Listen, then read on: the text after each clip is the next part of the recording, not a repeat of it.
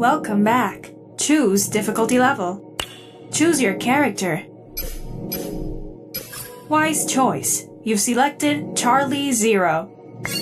Level 1. You have up to 3 lives to pass this level. Onwards to my quest! I must retrieve the precious emerald bracelet of the Catchy Valley, and it's right in there. That's a very crowded place. Are you aware there's a pandemic? A pan who? Let me explain with a cutscene. Old coronavirus. Long white beard and walking cane. Harmless, huh? Well, hang on tight. He's about to mutate. Ah! I feel stronger, faster.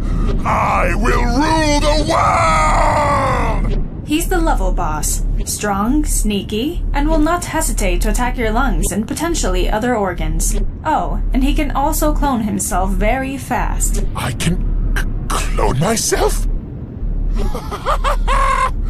More of me! Ha! Look, another henchman, and another one, and another one, and thousands and. Okay, you get the picture. So its code name is COVID 19. And wait for it. He travels in droplets of.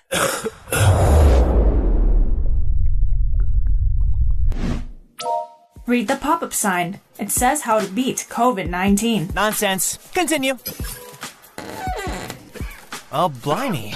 There's a disproportionate amount of coughing going on here. Darn! You coughed right in my face! What the? Critical hit. I think I need to get out.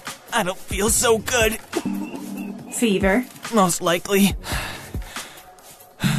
Shortness of breath. Unquestionably. Told you not to go in there. Noob! Now you can't escape my claws!